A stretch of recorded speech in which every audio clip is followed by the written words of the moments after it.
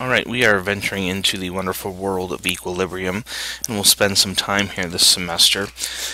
But first up, we know that many reactions are reversible, meaning they can go forward and backwards, and so eventually we end up with a mixture of reactants and products that they eventually end up in a state of chemical equilibrium, a dynamic equilibrium. And when we say that, we're talking about the rate of the forward and reverse reactions being equal, not so much the amounts. A reaction can hit chemical equilibrium when 99% of the reactants have been converted to products, or maybe 9%. We're not talking about a 50-50 split here. All right, and if you remember, we talked about a dynamic equilibrium with a saturated solution. So even though macroscopically we don't see a change, microscopically at the particle level, things are still happening. Products are still forming, and products are breaking down into reactants. So when we look at an example of a chemical equilibrium, here we have a reaction that we'll look at several times here today. But if I take one mole of carbon monoxide and three moles of hydrogen, place it in a 10 liter flask at 1200 Kelvin, I can see a couple graphs here. Initially, I have a lot of reactants and no products. So when I look at moles versus time, for this specific reaction, 3 moles of hydrogen, 1 mole of carbon monoxide, and no products to start. So of course, as time goes on, the moles of hydrogen and moles of carbon monoxide go, get lower and then my moles of product increases and eventually we flatline and that's where we see equilibrium occurring. As far as the rate is concerned, again, the forward rate dominates at the start. There is no reverse rate because we don't have any products to break apart. But eventually the rates become equal, they flatline, we've hit equilibrium when the rates are equal. So how does this look mathematically? Well, first, here's a, my reaction and the same information that was given to me. But I say at equilibrium, I cool the vessel down and I get 0.387 moles of water to come out. So I want to know what is the molar composition of the equilibrium mixture. And so what I'm going to do is set up an ice table. And we're going to use this a lot with equilibriums initial, change, and equilibrium. So initially, I have 1 mole of carbon monoxide, 3 moles of hydrogen, and no moles of my products. The change is going to follow the balanced equation because when this reaction happens, whether it be at the particle level or at the mole level or anywhere in between, we've got 1 to 3 to 1 to 1 as far as the reactant reacting ratio. So I say change-wise, I'm going to lose reactants. And based on the coefficients, I'm going to say it's going to change minus x for the carbon monoxide, minus 3x for the hydrogen. My react my products are going to increase. They're both a coefficient of 1, so they are plus x. So what I say at equilibrium, my carbon monoxide is 1 minus x, my hydrogen is 3 minus 3x, and my methane is x. Well, so is water. Water is x, but it told me 0.387 moles of water. So because of that piece of information, I now know x. I can come back here and I can plug and chug, and now I know the molar composition of this equilibrium. 0.613 moles of carbon monoxide, 1.839 moles of hydrogen, and the 0.387 of my products. The answer should make sense. My reactant moles went down, my product moles went up, and initially from my balanced equation I would start with 4 moles, I'm going to end up with 2, and the equilibrium is in between that, it's an intermediate, and when I add these numbers up it's 3.226 moles. So the answer makes sense. Now, if I look at my previous example, and that's the data we just obtained, I run a second experiment, but this time I start with 2 moles of carbon monoxide and 3 moles of hydrogen. I get a different equilibrium molar composition. So what can I conclude from this? Well, our equilibrium composition does indeed depend on the amount of starting substances. those graphs we just looked at were very specific to 3 moles of carbon monoxide and 1 mole of hydrogen. But it makes sense that our equilibrium occurs kind of at the same spot. And this is true, so we will find that the compositions at the same temperature are related by this equilibrium constant that we're going to see. So let's look at that. So our first equilibrium constant we'll look at, Kc, takes on this generic form if given this generic reaction. And what you'll notice is that the products are on top, reactants are on the bottom, and the coefficients of the balanced reaction end up as our exponents. So my equilibrium constant for the reaction we were just looking at, the concentration of methane times the concentration of water vapor divided by the concentration of carbon monoxide times the concentration of hydrogen cubed because of the fact that we have a 3 in the balanced equation.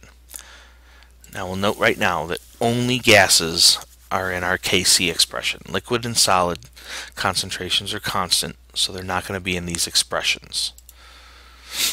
So let's look at a couple examples. Here's our ammonia production equation. So my Kc is the concentration of ammonia squared, and then on the bottom, concentration of nitrogen, concentration of hydrogen cubed. Now this is a homogeneous equilibria because everything is in the gaseous phase. Everything is in the same phase. And most of the ones we look at here will be like that. We can have fractions, so here's another example of that ammonia reaction, but with fractions as coefficients. So I would just use the fractions in the equilibrium expression. And then here is a heterogeneous equilibria. And again, we're not including the solids. So the iron and the iron oxide is not going to be part of the expression.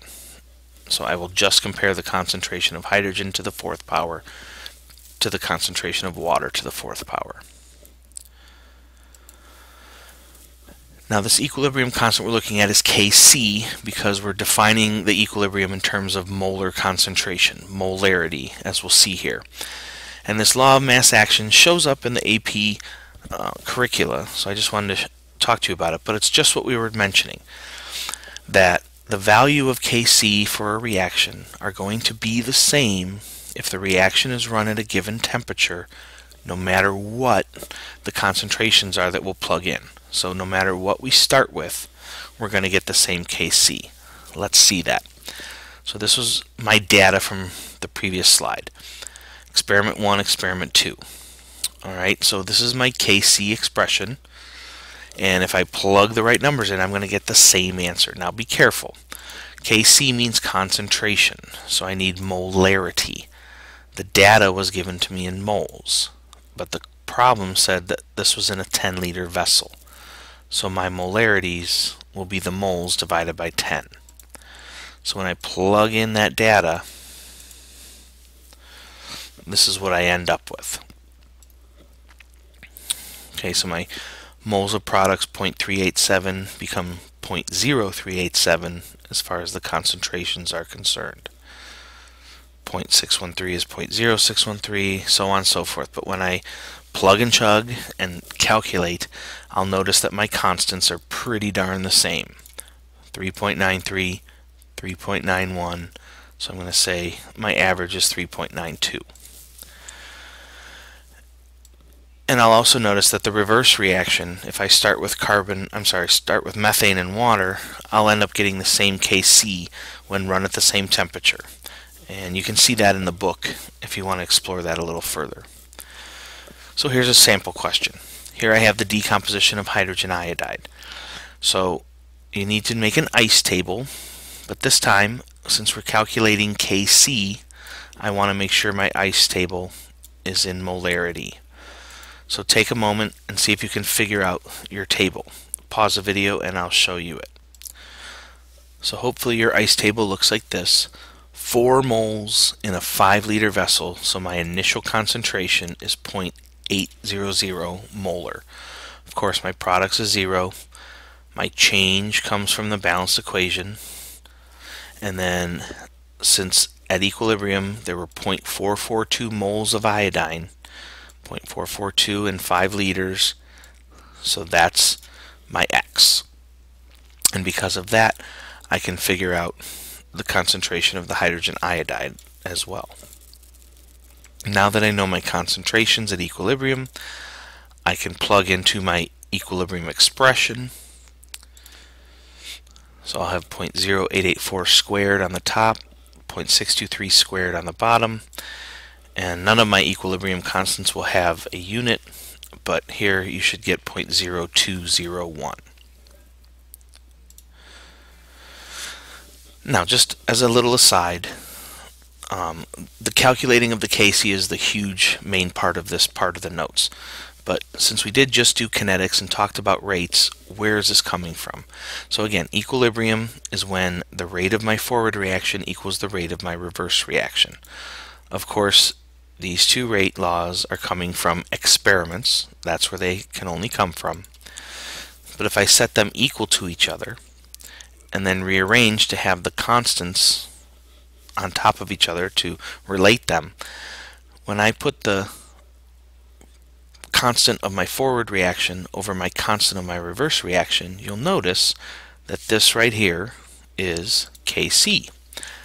So yes, I could find Kc through rate data. I could run rates like we did in lab, get data, calculate K, do it for the forward and reverse, compare those calculations, and get Kc. Or I can run reactions, get concentration data, and do an ICE table. It's a lot easier that way. But at least it tells you that it is connected to kinetics. Now since we are talking about just gases, there is Kp, which is the equilibrium constant expression using partial pressure, pressures for gases instead of molarity. But that's not a big surprise because when we talked about gases, the ideal gas law, PV equals nRT, if I rearrange that, N over V, moles per liter, is molarity, and pressure is related to that over RT. R, of course, is the ideal gas law constant, and T is a temperature, and since this is all temperature dependent, that would just be a constant.